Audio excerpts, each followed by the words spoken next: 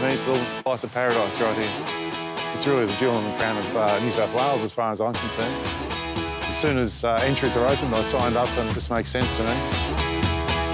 It's almost like riding through the rainforest through the first part and then you come along all the beautiful beaches up here and then once you get out into the national park, you've got sandy sections, steep rocky sections, you've got a bit of everything.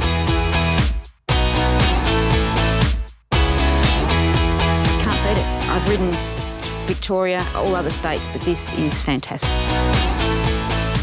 It's been really tough, but riding along with other women, encouraging each other. I met some women from Queensland today that I rode with.